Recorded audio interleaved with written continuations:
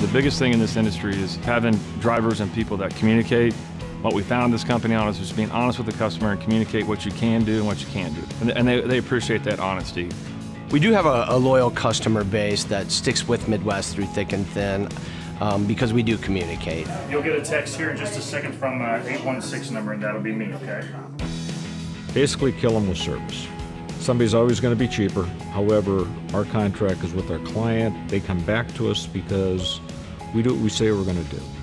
We try to let them focus on their business. We focus on get the freight delivered on time and manner. We don't overcommit. And, you know, our batting average is pretty high.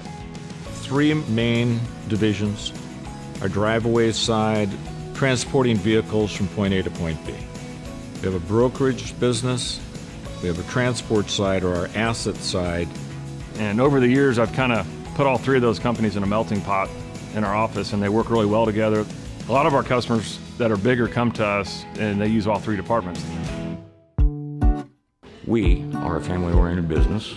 We put our customers first and we put our drivers first. We've got a really great squad of employees. It's just nice to be able to come into the office every day and enjoy the people that you work with. You know, we're small enough that we have individual relationships, but we're actually big enough to, you know, have somewhat of a footprint in the industry.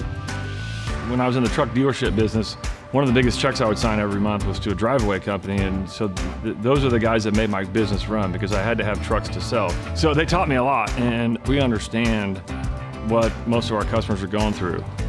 The clients look at us as a partner. We look at them as a partner. The communication with them is the strength of Midwest.